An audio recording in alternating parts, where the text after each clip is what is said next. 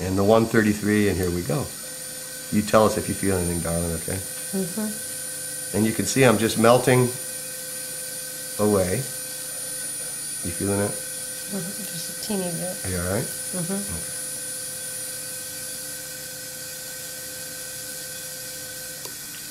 And the assistant will wipe this off.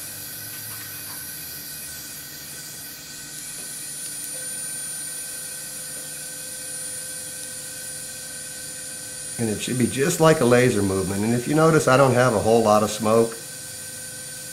This is a perfect setting right now for this patient. And if I had a lot of sparking, then I would want to turn it down a little bit. Now, one more time to go back and forth over this lesion.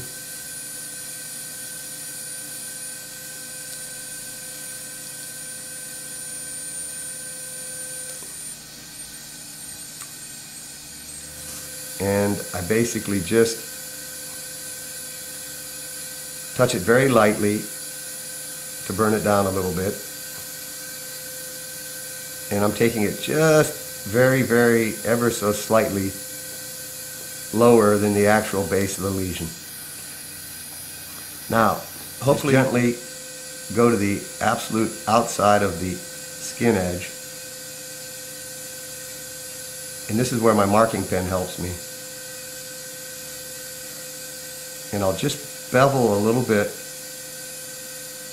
so I don't have that steep drop off at uh, the crater. Now you can see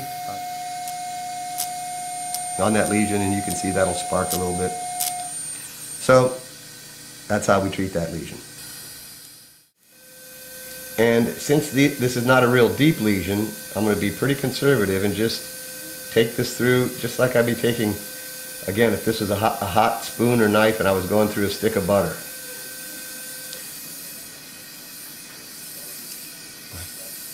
It, it, it keep wipe half of it off. And you can see that it, it's just not very deep.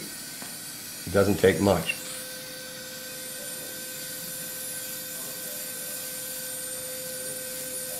So these lesions really do well with just a, a superficial treatment.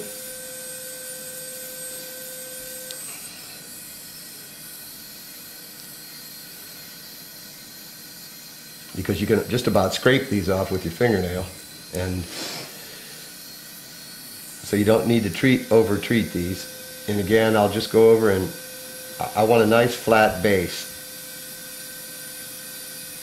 So I'll just go over here and kind of smooth it down with the little pecking action that we've described. Make sure I don't have any precipitous edges.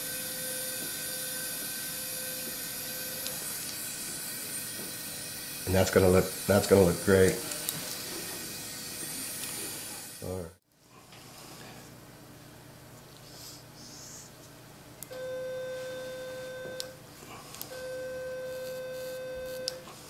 Usually on these pedunculated lesions, but again, I just don't like to keep switching back and forth.